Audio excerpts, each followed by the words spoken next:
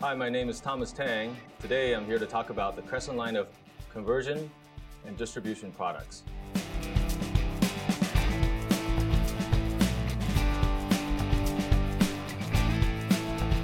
This is an audio de-embedder.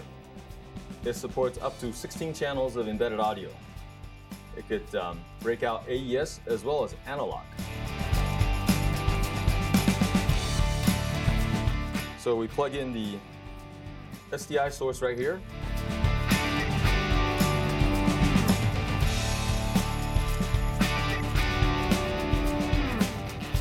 Now you can visually see the 16 channels of embedded audio and each group that is present.